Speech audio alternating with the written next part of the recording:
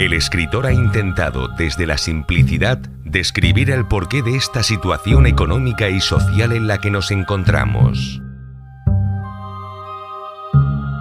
El autor ha dedicado su tiempo para aclarar este tema de forma breve y concisa.